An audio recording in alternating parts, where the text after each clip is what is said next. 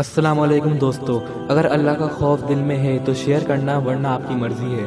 ذرا سوچئے، ہمارے ملک پہ تیری تباہی کیوں؟ نماز سے دوری، کیبل پر ناچ گانا، موبائل پر ساری رات گفتگو کرنا، لڑکیوں کا پردہ نہ کرنا، سود لینا، ماں باپ کی عزت نہ کرنا، زنا جیسے بڑے کبیرہ گناہ کو کرنا، موبائل پہ گندے میسیجز کرنا، سنتوں کا مذاق اڑانا گالی گلوچ کرنا وغیرہ۔ اور بھی نہ جانے کتنے شدید گناہ روز روز ہم کرتے آ رہے ہیں۔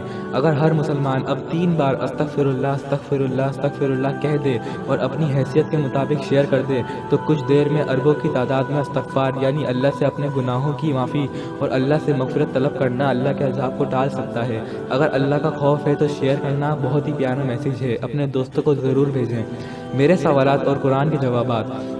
میں نے کہا، تیری مدد کیسے ملے گی یار اب جواب ملا، صبر اور نماز سے مدد لیا کرو. میں نے کہا، میں گناہ گار ہوں. جواب ملا، اللہ کی رحمت سے مایوس نہ ہو، اللہ بھر گناہ بخش دے گا. میں نے کہا، میرے دل کو سکون نہیں ہے. جواب ملا، بے شک اللہ کی یاد سے ہی دل کو سکون اور اطمینان ہے. میں نے کہا، میں بہت اکیلا ہوں. جواب ملا، بے شک ہم رگ جان سے بھی زیادہ قریب ہیں. میں نے کہا، مجھے کوئی یاد نہیں کرتا. جواب ملا، تم مجھے یاد کرو، میں تمہیں یاد کروں گا. میں نے کہا، میری راہوں میں بہت پریشانیاں ہیں. جواب ملا جو اللہ سے ڈرتا ہے، اللہ اس کی نجات کی صورت نکال دیتا ہے۔ میں نے کہا، میرے بہت سے ادھورے خواب ہیں۔ جواب ملا، مجھ سے دعا کرو، میں قبول کروں گا۔ خوش نصیب ہوں میں، کیونکہ مسلمان ہوں۔ کسی کو سلام کرو تو نیکی، کسی کو مسکرا کر دیکھو تو نیکی۔ کوئی کام سے پہلے بسم اللہ پڑھو تو نیکی۔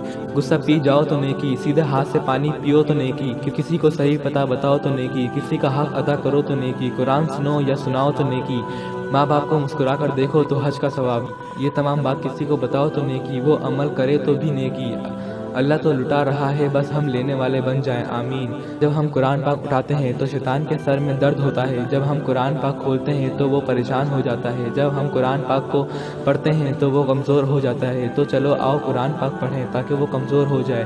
اتنا کمزور کہ ایک دن ایسا آئے کہ وہ اٹھ بھی نہ سکے۔ آپ جانتے ہیں کہ آپ اس میسیج کو فارورڈ کرنے کا ارادہ کرو گے تو شیطان تمہارے ارادے کو کمزور کرنے کی کوشش ضرور کرے گا، مگر آپ اپنے ارادے کو کمزور نہ ہونے دیے گا۔